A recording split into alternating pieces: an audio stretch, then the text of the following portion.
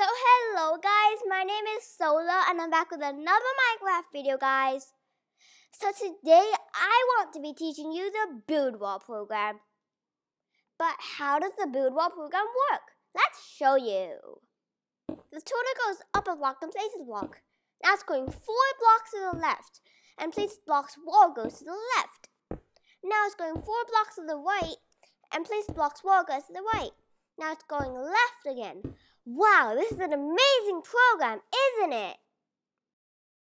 In survival, your hands could get really sore, but the problem is you want to make this massive wall. And you just can't because your hands are just too sore. Well, the soda will do it all for you. You can make the Great Wall of China number two. You can make Donald Trump proud by making a huge wall.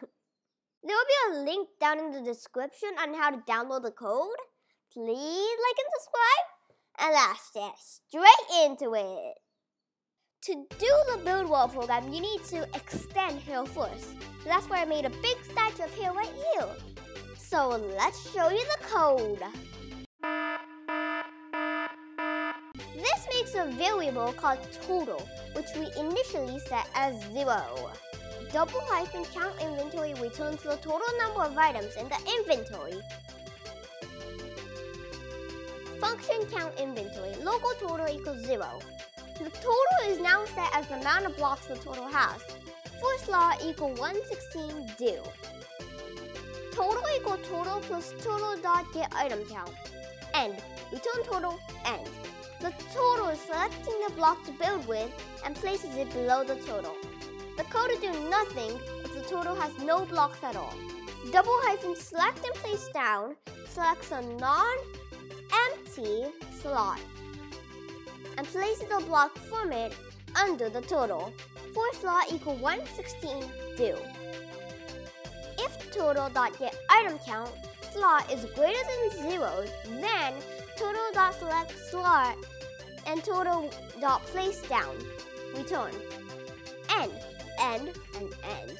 The turtle will let you know if the turtle does not have enough blocks, it will not work. Double hyphen build wall creates a wall stretching in front of the turtle. Function build wall length height. If hare dot count inventory is smaller than length times height, it will return false, not enough blocks. And will end.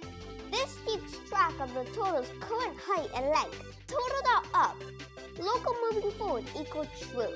The turtle is already at the opposite end of the wall and it only has to move one more block. For current height equal 1, height do. For current length equal 1, length do. Select and place down. Place the block. If moving forward and current length is less than length, then turtle dot forward. Else not moving forward and current length is less than length, then turtle dot back. And, and the turtle can change directions. If current height is less than height, then turtle dot up. And moving forward is not equal to moving forward. And the turtle moves one space. Double hyphen done building wall. Move to end position. If moving forward, then double hyphen turtle is near the start position. For current length equal 1, length 2. Turtle dot forward. End. Whether the turtle was moving forward or backwards in the last move, the turtle will always be at the top of starting position. Else, turtle is near the end position, turtle dot forward, end. The turtle moves one block. Double hyphen move down to the ground. For current height equal 1, height do, turtle dot down, end. Return true. End. This is all that you have to change for hare. Not much of typing, and a lot of possibilities. So let's do the build wall program. This loads hare. OSDOT load API hare. This stores values for length and height. The length and height values can still change, but the program will still work. Double hyphen handle command line arguments. Local cliArgs equal dot dot dot. Local length equal 2 number cliArgs 1. Local height equal 2 number cliArgs 2. If you do not type build wall, length, height, an error will appear. The length and height are numbers. If length equal nil or height equal nil, a cliArgs dot 1 equal question mark. Then print usage, build wall, length, height, return, end. It checks if you have enough blocks, print, building. If hare build wall, length, height equal false, then error, not enough blocks, and print, done.